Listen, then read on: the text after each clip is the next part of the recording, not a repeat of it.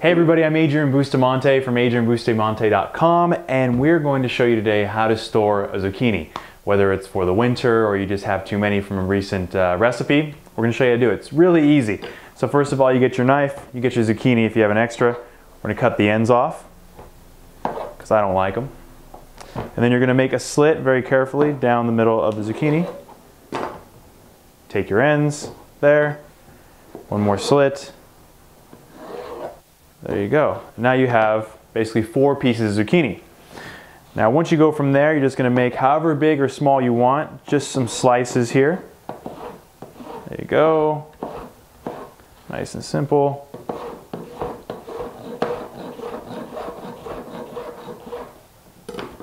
So now you have pieces of zucchini here. Now, before you put, before you're going to put them in this bag and get ready to store them, we're to take the zucchini and we're going to put them in a pot and blanch them really quickly, which I've already done with some previous zucchinis here.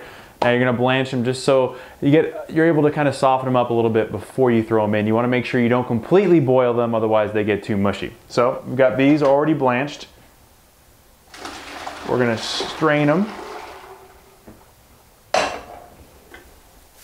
And we're going to bring them over here. So now that they're over here, we're gonna pat them dry because we don't wanna throw them in there too wet because we're gonna be throwing them in the freezer. The last thing we wanna do is throw them in there with any more excess water than they need. So I do that. Put them on a piece of paper. And now just pat. Now back to blanching, you want to make sure that you don't put them in there for any more than one or two minutes because these will soften up really quickly and the last thing you want is zucchini mush to throw in the freezer. So now these are pat dry. You're gonna take one Ziploc bag, make sure it's some kind of Ziploc bag, whether it's like this or the ones that have a little bit of a plastic piece over the top of it. And you're gonna start taking the zucchini and throwing them in the bag.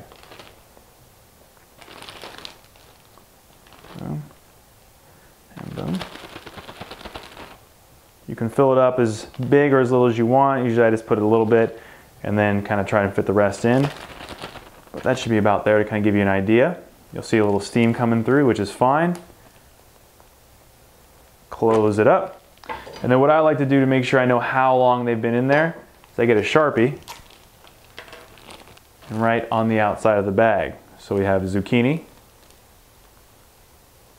And today is 620, I'll put 2013 so I know. Once you place them in the freezer, they'll last anywhere from about, you know, 10 months is usually the max I'll keep something in there.